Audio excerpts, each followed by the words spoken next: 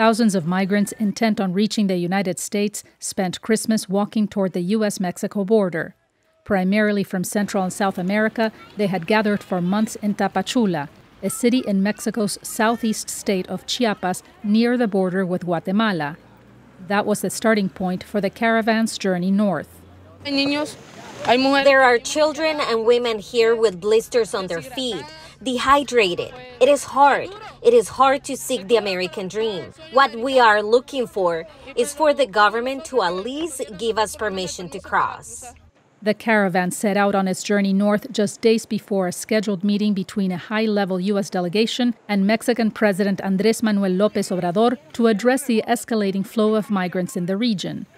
According to Chiapas authorities, about 10,000 migrants, including children, are in the caravan.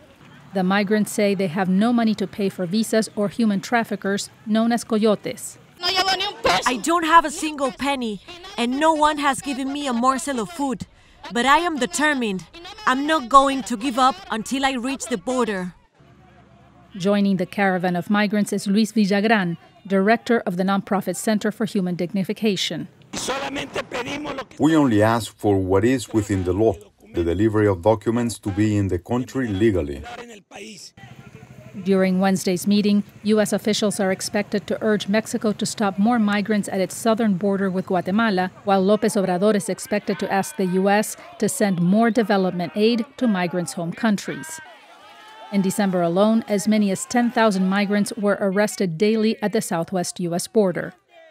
For Javier Hegar in Mexico City, Veronica Villafañe, VOA News.